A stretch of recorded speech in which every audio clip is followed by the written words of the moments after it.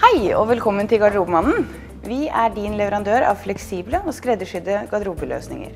Hos oss får du garderober av meget høy kvalitet til en fornuftig pris. Vi har et stort utvalg av profiler, dørfyllinger og innredninger. Her bestemmer du selv hvordan du vil kombinere disse elementene. Din løsning får derfor et helt unikt design. Alt lages også etter dine mål, så all plass blir utnyttet. Ring oss eller kom innom en av våre butikker for en prat og mer informasjon. Vi avtaler gjerne et gratis og uforpliktende hjemmebesøk. Velkommen til Garderobemannen.